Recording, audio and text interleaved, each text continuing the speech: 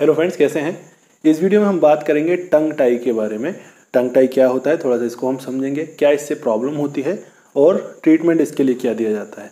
इसको हम समझेंगे। अगर चैनल में नए हैं या पहली बार विज़िट कर रहे हैं तो चैनल को सब्सक्राइब कर लेना है रेड बटन को क्लिक करके और बेल आइकन को क्लिक कर लेंगे। तो ऐसे ही इन्फॉर्मेटिव वीडियोज़ की नोटिफिकेशन आपको मिलती रहेगी।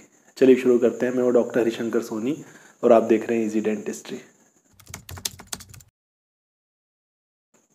समझते हैं, टंग टाई, जिसको हम बोलते हैं मेडिकल टर्म में एंकाइलोग्लासिया। जीभ से रिलेटेड डिसऑर्डर है। ये कॉन्जेनाइटल डिसऑर्डर है मतलब कि एट बर्थ होता है, जन्म के साथ ही ये बच्चों में होता है। और बहुत कॉमन प्रॉब्लम ये है इंडिया में 9 से 10 मिलियन जो नए केसेस हैं, होते हैं एंकाइलोग्लासिया के हर साल।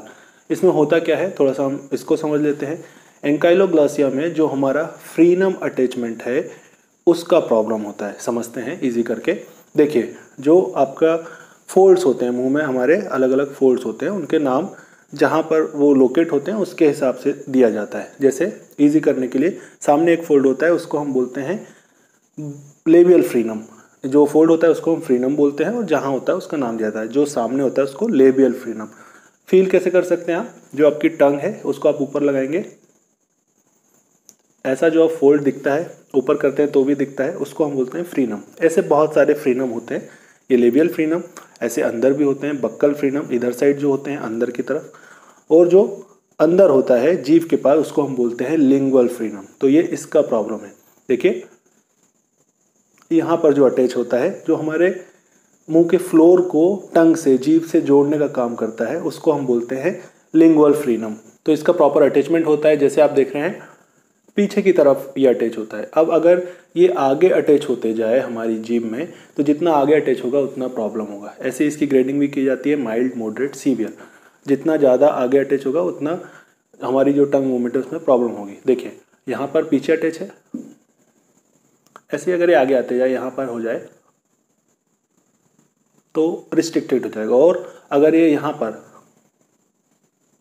टो से टच हो जाए तो बिल्कुल ही रिस्ट्रिक्टेड हो जाएगा जो मूवमेंट्स है टंग का।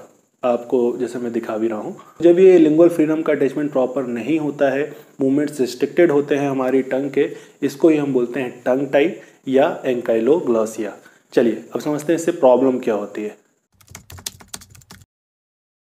देखिए, अगर ये नॉर्मल से थोड़ा सा ज़्यादा है माइल्ड है जिसकी जो पोजीशन है थोड़ी सी आगे है तो बहुत ज़्यादा प्रॉब्लम नहीं होती है। और डायग्नोसिस की बात करें तो समझ भी नहीं आएगा, हम डायग्नोज भी नहीं कर पाते नॉर्मल ही वो आपको लगेगा।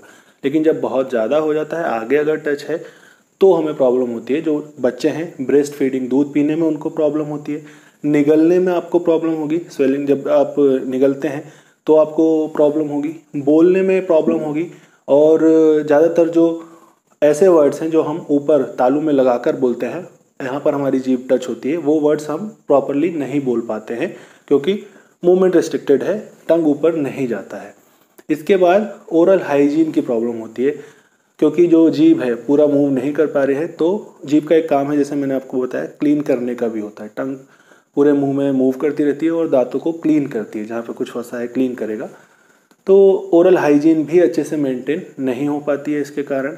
इसके बाद क्राउडिंग का प्रॉब्लम होता है। क्राउडिंग मतलब आड़े तिरछे दांत होने का भी प्रॉब्लम होता है। अब ये कैसे होता है? जब नॉर्मल पोजीशन होती है हमारी जीप की, जो हमारे ऊपर वाला तालू है पैलेट है, उसमें रहता है तो जो पैलेट का शेप बनता है वो यू शेप का होता है नॉर्मल तो हमारे दांत प्रॉपरली अरेंज रहते हैं। लेकिन जो टंग टाई होता है, जिस भी पेशेंट में, उनमें वी शेप का आर्च ज़्यादातर देखा जाता है। वी शेप का आर्च बन जाता है। तो जो दांत हैं क्राउडेड होने लगते हैं, आड़े तिरछे इसके कारण होने लगते हैं। अब बात करते हैं इसके ट्रीटमेंट की। तो सबसे पहले अगर थोड़ा बहुत प्रॉब्लम है तो स्पीच थेरेपी इसमें दी जाती है, जो बोलने में प्रॉब्लम हो रही है, जो निगलने में प्रॉब्लम हो रही है, उसके लिए स्पीच थेरेपी दी जाती है और इसको ठीक करने का ट्राई किया जाता है। और अगर ये ज़्यादा है तो नेक्स्ट ट्रीटमेंट जो है, बहुत कॉमन ट्रीटमेंट है, इसको हम बोलते हैं फ्रीनेक्टोमी जो हमारे लिंगुअल फ्रीडम की हमने बात की, जो अटैचमेंट है जिसके कारण ये प्रॉब्लम होता है, उसको निकालना होता है। इसको हम बोलते हैं लिंगुअल फ्रीनेक्टोमी और जनरली ये किया जाता है सर्जिकल प्रोसीजर से। एक माइनर सर्जिकल प्रोसीजर है और लेज़र से किया जाए तो ज़्यादा बेटर होता है। लेज़र से जो ब्लीडिंग का प्रॉब्लम है वो नहीं होता है। आपको सुन कर दिया जाता है एनेस्थाइज कर दिया जाता है इंजेक्शन देकर। और उसके बाद जो टंग टाई है और जो मतलब फ्रीनम है, जो अटैचमेंट है, जिसके कारण प्रॉब्लम है, उसको कट कर दिया जाता है एक लेवल तक नॉर्मल लेवल तक उसको कट कर दिया जाता है। और फिर स्पीच थेरेपी जब कट हो जाता है, जब थेरेपी दी जाती है धीरे धीरे आदत डलवाई जाती है कि कैसे आपको बोलना है, क्योंकि काफ़ी समय से ट्रीटमेंट नहीं हुआ है और वैसे ही आदत होती है तो धीरे धीरे करके फिर ठीक होने लगता है। जो मूवमेंट्स हैं नॉर्मल हो जाते हैं। तो लिंगुअल फ्रीनेक्टोमी इसके लिए की जाती है, ठीक किया जा सकता है इसको। तो ये थी कुछ इन्फॉर्मेशन टंग टाई एंड कैलोग्लासिया के बारे में। होपफुली आपके लिए हेल्पफुल रहा होगा। अगर आपको भी है या किसी को जानते हैं जिनको है तो ईजिली उनका ट्रीटमेंट कराया जा सकता है ट्रीटमेंट करा सकते हैं। चलिए, इस वीडियो में इतना ही। जल्दी मिलेंगे नेक्स्ट वीडियो में एक और नए टॉपिक के साथ। Thanks for watching